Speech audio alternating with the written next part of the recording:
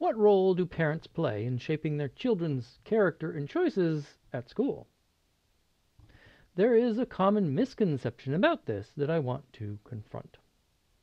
Here is a version that I heard recently from Anoushka Jolly, a teenage serial entrepreneur who founded the Anti Bullying Squad. The project won Shark Tank India. More recently, she served as a youth ambassador for HundrED.org. She made these comments as part of a webinar in which I was a participant. Schools is definitely a place where students spend majority of their time but i feel that you are shaped mostly by what you see and experience at home with your family when we talk about schools having a responsibility for well-being we often forget that a school is providing a space. They are enabling social interaction. They're enabling opportunity. But they are not ultimately raising the child. That needs to be done by the parents and the caretakers.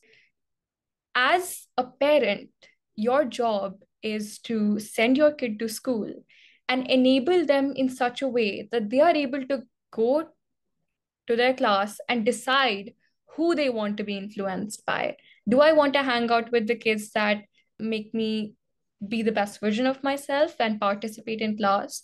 Do I want to hang out with the students that are making me participate in illicit activities? Anoushka expresses ideas that rest on common but problematic assumptions about the roles that parents and schools play in supporting the well being of children. Anoushka is not the source of those assumptions. It just happened that I heard her express them in a public forum. The statements are perfectly reasonable, emotionally true, and logically follow from certain assumptions.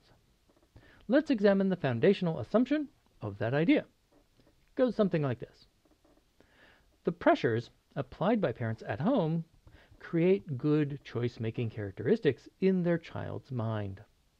Those characteristics emerge in the child's school behavior as choices about the influences that they accept.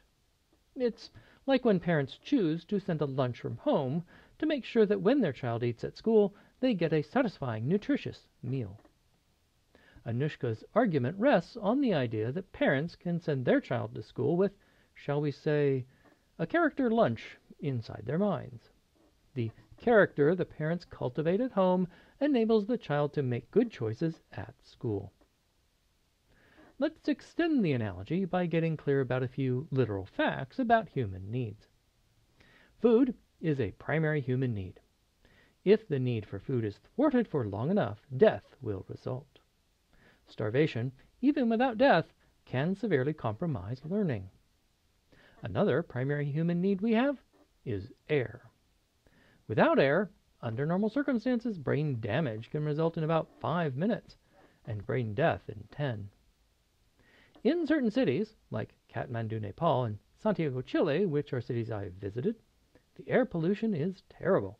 Yet, parents, no matter how rich, have never taken responsibility for providing fresh, clean air for their child alone. It is utterly absurd to think that a parent should provide their child with a self contained breathing apparatus, like those used by firefighters and scuba divers.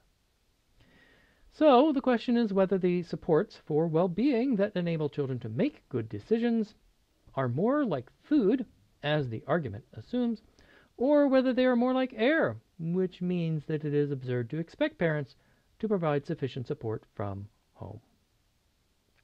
Fortunately, there is a science that has been studying psychological needs for decades. Turns out there are three universal psychological needs for relatedness, autonomy, and competence. Those three needs, plus sleep, serve as the enabling conditions for psychological well being in humans of all ages. I have argued in my book, The Agentic Schools Manifesto, and in a video on my website, which is linked in the description below, that the psychological needs, except sleep, are more like air than food. What I propose is that while the argument Anoushka makes feels true, it does not place a realistic expectation on parents. Parents do have three important forms of influence. First, by supporting those needs consistently at home, which is exactly what Anoushka expects them to do, based on some of her other comments during that webinar. Second, by choosing a school that is already structured to make the support of those needs an ongoing high priority. Third, by advocating for their school to become better at supporting the psychological needs of the children they serve. I made it clear to Anoushka that when so much of a child's time is spent at school, parents have outsourced the task of raising them. Parents are an important influence for as long as they are involved in the child's life. But parents should recognize that schools are raising their children in exact proportion to the time the child spends at school.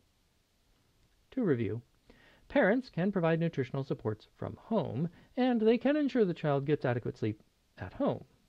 However, they cannot send better air from home, nor can they supplement the child's needs for relatedness, autonomy, and competence at school. Their best option for ensuring better psychological support is by either choosing a school that is good at it already, which can be difficult to determine, or by getting the school to take up the challenge of getting better at supporting psychological needs. The first option, providing psychological support at home, is available to all parents, but does not have much of an influence on a child's need satisfaction at school. The second option, choosing a school that is already good, is only available to some parents.